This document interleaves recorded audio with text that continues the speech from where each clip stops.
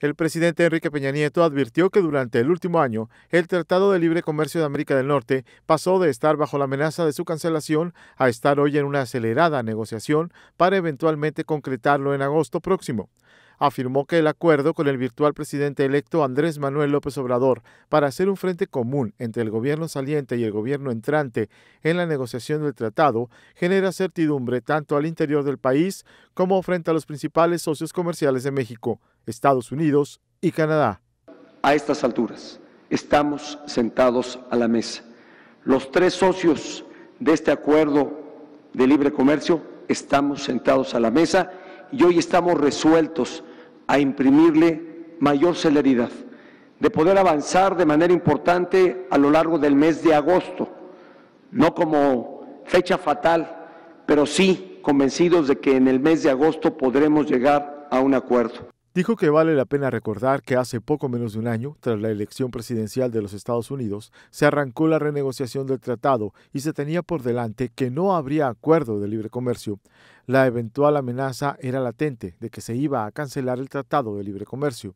Indicó que entonces fue posible dialogar con el nuevo gobierno de los Estados Unidos y el de Canadá para dar espacio a una revisión y renegociación del Acuerdo de Libre Comercio, que ha tenido distintos ritmos en su negociación, a veces acelerados, a veces más lentos, pero algo bien importante a estas alturas dijo, están sentados sobre la mesa.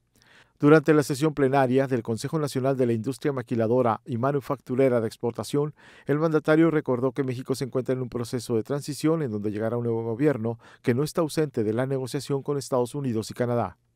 Estamos ya en un periodo de transición donde llegará un nuevo gobierno que no está ausente de esta negociación que estamos eh, realizando de libre comercio con Estados Unidos y con Canadá. Por el contrario, hemos incorporado y han sido designadas personas del equipo de transición, del equipo de colaboración del presidente electo de México, licenciado Andrés Manuel López Obrador, para que sean parte